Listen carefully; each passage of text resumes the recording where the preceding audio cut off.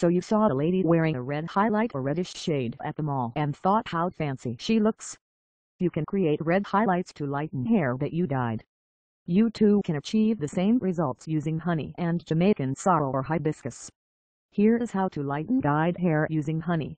To a saucepan containing 2 cups of water, add 2 cups of fresh or dried Jamaican sorrel. Heat the mixture to a boil. Allow the sorrel to soak for 2 to 4 hours, but if possible leave it overnight strain to obtain the resulting liquid and mix it with 2 tablespoons of honey and 1 tablespoon of cinnamon. Apply the paste onto your hair and massage gently. Cover your hair with a shower cap or plastic wrap for 1 to 2 hours before rinsing it depending on the hue desired. You can also use the following ingredients in the place of Jamaican sorrel, reddish hue, henna powder or ground coffee strawberry hue, hibiscus petals subscribe us. To know more hair growth treatments and tips,